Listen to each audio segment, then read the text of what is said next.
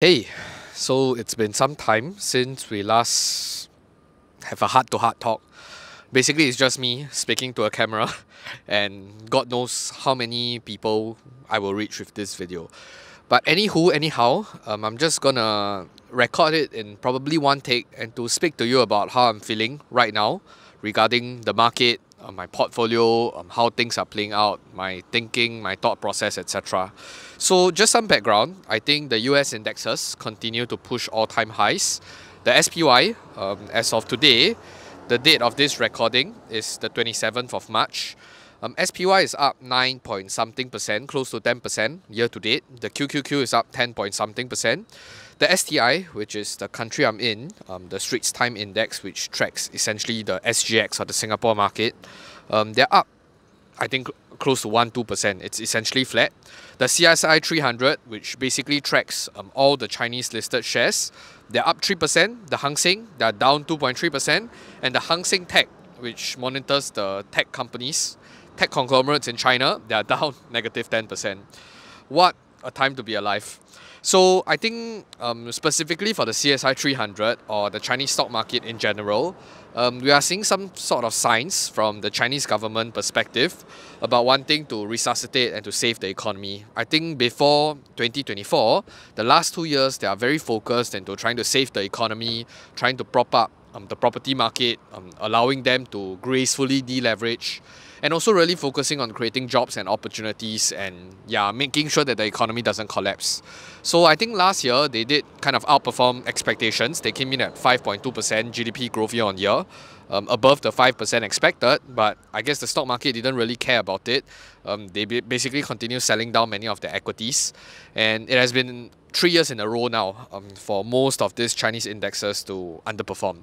And even recently, I think January or February, um, the Chinese national team, basically their sovereign funds and um, some of their investment funds, um, they started buying in to the stock market to basically save the A shares market. But there is still um, continued weakness and basically a en masse vote of no confidence to the Chinese market, which is why you see many of these Hong Kong shares um, showing many signs of weakness. But the A shares is basically propped up by um, continuous demand um, based on the local investing pool and base. But that said, I think a video from one of the creator, I've forgotten who, he was basically outlining um, in order for there to be a sustained amount of rally, um, specifically in the Chinese market, you'll need foreign fund flows to come into it. But as of now, um, we don't really see it. Uh, on another note, I think the crypto market, Bitcoin, it's up 62% year to date basis. I'm smiling because I think crypto in general or Bitcoin, it's basically a representation or an indicator for how much risk the market wants to partake in. And seemingly, it seems like everybody, it, it's a risk on environment, but uh, Chinese equities, still too risky. Yo, Webull is back with really awesome sign up rewards. So for new users to Webull, you can now sign up and make an initial deposit of 500 US dollars to enjoy 5 free Nvidia shares, each worth between 10 to 500 US dollar. On top of that, get 3 years commission free Singapore stock trading and 1 month commission free US stock trading. Oh, did I also mention that if you complete 5 US stock, ETF or options buy trades within 30 days, you will also get 15 times 10 USD US stock trading vouchers and 15 times 20 USD US options trading vouchers credited to your account. So you can essentially make 30 trades with almost zero cost. And of course, this is not the only promotion campaign Webull currently offers. So for new users, you can actually participate in their upsize Moneybull campaign to potentially get up to 5,000 US dollars worth of rewards. I'll leave the terms and conditions and sign up link in the description box down below. So stop procrastinating and start taking advantage of this promotion today. Thank you Webull for sponsoring this video.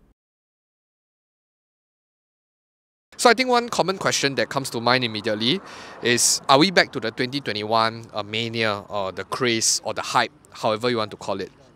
Personally, I think now, um, right now in 2024, it was really riding on this AI momentum, artificial intelligence. Uh, many of these big tech companies, you have companies like Nvidia, AMD, SMCI. Um, many of these companies are benefiting crazily from this um, huge AI boom. Personally, actually, I was initially quite skeptical um, because AI was not really a new theme or new trend. Um, we already see the implementations, the adoption from um, robotics, delivery, um, supply chain, uh, algorithms and stuff. Many of these big tech companies are already meaningfully and earnestly employing AI.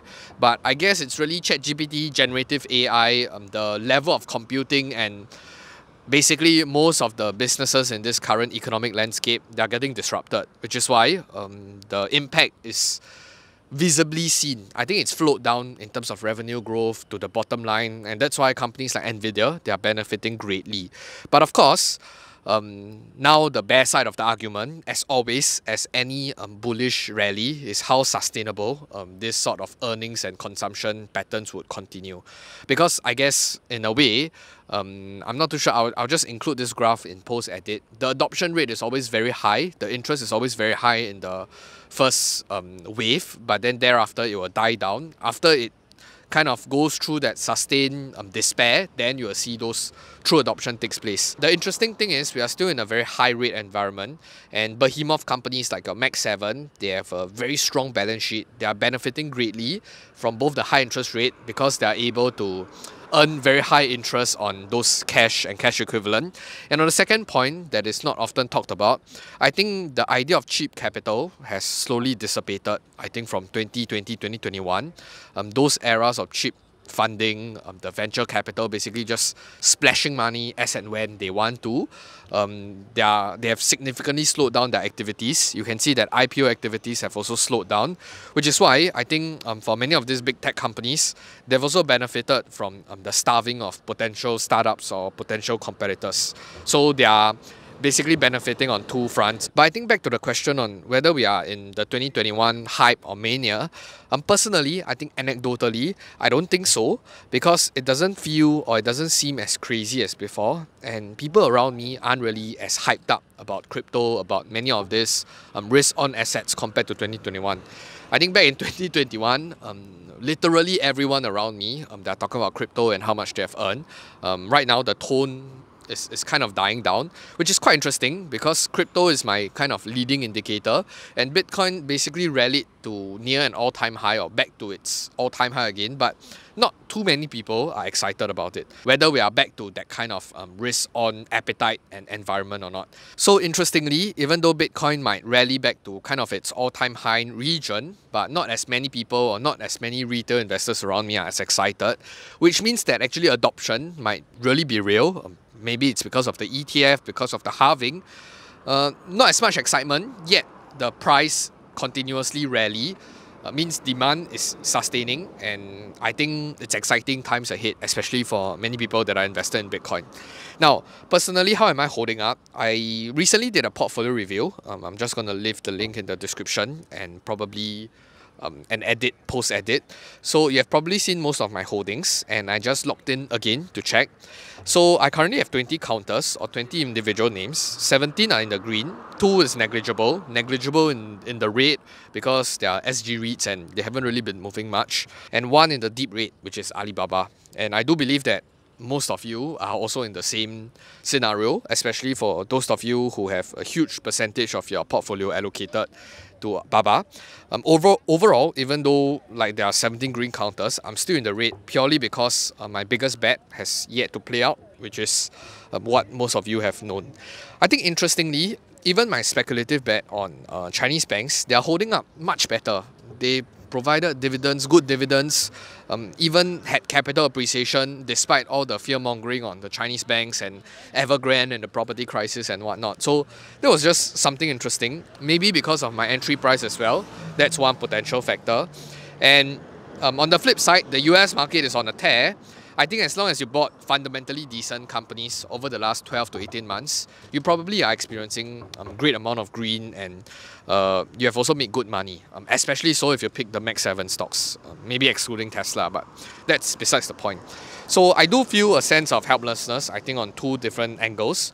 I think the whole financial game feels quite rigged uh, in my perspective, especially when there's a lot of incentive to kind of prop up the markets. So it feels good in the short term, but it's not good for net accumulators in the long run, especially for the younger batch or the younger audience like myself. We want to accumulate companies at reasonable or at cheap valuations. And it's really during these times of crisis and when the market goes into ebbs and flows, when it goes down, um, that's the point when we start accumulating with our money. But we really can't we, we can't accumulate much at least over the last two years. We we have seen over the last two bear markets at least in 2020 and 2022 there was really this snap crash and then it come back. There was not much time to accumulate. Um, the time taken to recovery is I don't know less than six months less than nine months and it cultivates kind of the habit amongst new investors to basically just close your eyes and just buy whenever there's a dip because you know at the back of your mind that it will always come back. And because this feedback time is very quick, um, it kind of inevitably cultivates that kind of habit. Um, of course, if you compare it to our Chinese counterparts, um, that's another story. Now, secondly, on a second angle, I think many people are also in the same boat, um, basically stuck back holding some of these Chinese equities, Chinese tech companies, Alibaba specifically, etc. And they are probably beating themselves up for the last two to three years um, because of wasted time and also wasted opportunity. So to me, of course, I'm still diamond handing, but I think it's really not a good feeling to be in. And um, I appreciate and I completely understand um, the various investor sentiments and perspective around um, investing into Chinese tech today. But I do feel like we are kind of in abnormal times with how things are basically shaking and developing in the world today. I think just think about it over the last, I guess, five to eight years. Anything that happens, I think most governments basically just print money. They print to win, and intuitively, we all know that um, this is not sustainable in the long run. However, on an individual basis, you know that this is unsustainable to continuously spend. But on a macro level or on a country level, it doesn't seem to be bothered. You can basically just print your way out, and as long as um, there, there's trust, um, the music is still on, which is basically what's happening in the US. And of course, I'm not saying that the US is bound to fail or it's bound to collapse, but I'm just saying that we are really living in very, very interesting times. It's counterintuitive to personal finance, to investing, to whatever there is. That's it. I don't think we are necessarily in the bubble territory right now, and I'm also not saying that the US market would crash or whatnot. So as long as the spending and the consumption continues in a manner, I think we will continue dancing. Um, that said, I do find it harder and harder to basically deploy capital to many of these US companies. So personally, I still find Chinese and Hong Kong companies to have the best risk reward now. Um, the downside, there's there's really very strong downside protection here. I think if you were to really compare these different counters and different names, looking at it um, objectively today, um, if you compare, let's say, Alibaba versus Amazon, do I think Alibaba has a higher chance to go down 50% from here, or do I think Amazon has a higher probability of going down 50% from here? Of course, not barring any crazy incidents like um, the CCP basically um, confiscating everything. I mean, that's a really, really black swan event. But if you just look at how things are basically progressing, I do feel like a lot of the US counterparts have a very high probability of correcting downwards 30, 40, 50% compared to our Chinese counterparts just sheerly from the fact that um, they are they are much closer to Earth and gravity is pulling onto them. Um, but that said, of course, um, on the flip side, it's also true because they are already up. Momentum tend to carry them even higher. That's also why uh, many of these US stocks continue to push all-time high, while um, Chinese stocks remain on the ground. Um, so you kind of have to weigh your risk reward and think about um, do you care more about the upside or care more about the downside? But at least to me now, I do feel that a lot of these Hong Kong names, um, they have very strong downside protection. But for me, um, right now, why am I not aggressively acu- continuously accumulating on some of these Hong Kong names? It's really on a portfolio concentration and diversification point of view. So I think specifically, if you look into Hong Kong names, um, not only do you get the cushion, which is the margin of safety due to their low valuations, you also get very strong diversification benefits. So there's a recent um, article or recent report that was released by Bridgewater. Um, disclaimer, they are a huge proponent of diversifying and diversification because of the readings and teachings of um, Ray Dalio. So, and I quote, the most diversifying markets are those where the key drivers of asset prices, growth, inflation, and monetary policy are lowly correlated to other countries.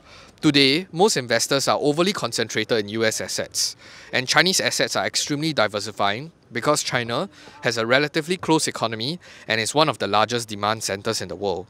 So I know whatever I cite or whatever I say now, I'm talking about diversification, etc., none of you is going to treat it seriously because most of you will probably just point towards China and their Chinese stock market and say that, hey, look at how badly they've performed over the last 10 years and especially the last three years. They haven't even walked out of their bear market um, that was that started in 2020, 2021. So I think the funny story is, here's the common consensus regardless of what China does, um, the stock market is still going to go down. Whether they're in an expansionary monetary environment or whether they start printing money to basically save the property market or even if their national team comes in to support the stock market, um, everybody already have the expectation that whatever they do, um, the stock market will continue to go down. On the flip side, whatever the US does, whether the Federal Reserve says that, oh, we're going to keep rates higher for longer, um, even though it's in a hawkish environment, they don't care. Um, stocks will continue rising just because they are the United States. So I think we are really in interesting periods of history and I think five, ten years back, if we look back into this situation, um, we will have another story to tell um, our kids, our grandkids. So I think my takeaway is pretty simple. Investing and stock picking and playing the financial game, it's a very, very emotionally taxing and draining game where you'll need actually a bit of stubbornness, a bit of arrogance, a bit of everything, and some might look at it as bad attributes, to basically stick to your thoughts, stick to your philosophy, and stick to your guns. And even though the market which is an extension of everyone because everybody is voting with their dollar bills. Um, they're telling you otherwise. They're telling you that, hey, this is a bad investment. Um, you're losing money for at least two, three years now. Why are you not giving up yet? Come over, come over to the other side where we are earning so much more money. Why, why look at the opportunity cost, look at how much money you could have made, etc. etc. So to me, I think it's fairly simple. Um, if you do have a framework or an investing philosophy, stick to it. As long as it breaches the rule, um, basically whether you look at it from a moat perspective, um, Alibaba is losing market share. Alibaba is no longer first in e-commerce. Um, they're no longer first in cloud. Um, the strat- there, there's a lot of strategic missteps. They are not allocating capital properly. They're not taking care of shareholders. If any of those check boxes are your deal breakers and they break it time and time again, Okay, um, I've spoken for too long and my battery died, but I think just to continue on the point, if your thesis of selling is just because oh the stock is down for two years, then I think that's not a very sound decision making framework anyway. So I think just to kind of end off or to close off this discussion, um, there's one thing that I kind of learned over the years, uh, over the last three, four years, is that to always be open-minded and to listen to where um, opportunities are. And don't be fixated on, even though I do believe that Hong Kong, China, that's one um, investing team that offers great amount of value for investors um, you can al always be open-minded to basically do your homework and to learn other spaces. And likewise, I think I've made multiple videos on this channel talking about Meta back when it was basically trading down like nobody's business. And also when Amazon was trading down because of their investment cycle. And there's one more that was TSMC that I can recall off the top of my head that was also in that semicon down cycle. So I think as long as you have done your homework, um, you don't have to be too fixated or too close-minded saying that, oh, I found this holy grail to investing and there's only one investment that I must invest and make my money in. So I guess that's just my perspective on um, different investing styles and uh, opportunities out there in the market today. Um, disclaimer still, I think people like to misconstrue what I say. Yes, I still think Hong Kong, China, that large part, um, still very undervalued. I'm still holding on strongly, but from a diversification perspective, that's why I'm allocating more money there. Um, that said, I think when we look at things in totality, um, I'm not necessarily buying um, US names very aggressively right now because I can't really see the opportunity. So I've been trying to accumulate cash, at least for now, I think this month, uh, in the month of March, I haven't bought anything and I don't intend to add anything more. I think um actually the funny thing is over the last one month or so, or at least the last three weeks, a lot of my friends that are invested in Nvidia and Tesla, um, they've been pitching my way a lot of things, and I'm doing a lot of research and and I guess analysis in that space. You guys can probably expect something soon about I guess the two companies. I really want to own those two companies. Um, even though I know um, a lot of you like to call me the cloner of Adam because I'm currently working for him and some stock picks are or some ideas are definitely generated and inspired by him. But that said, uh, I think Tesla is something that he will never touch. I, I am interested in Tesla, but maybe at the right valuation. I think we shouldn't be very against the idea that, oh, just because a group of people um, hate my stock pick, uh, I, I know that there's a lot of um, Alibaba holders hate Teslas and Tesla holders hate Alibaba. I think Tesla is really onto something very interesting. Nvidia might probably be one of the most important companies in this entire decade or so, but I really still, I mean, there are few philosophies and few um, fundamental pillars of how I invest um, that is basically stopping me from entering or starting a position. So I think if the opportunity comes and if it's interesting, maybe I may be even a Tesla shareholder, who knows. So we'll see how it goes and I'll see you in the next video. Goodbye.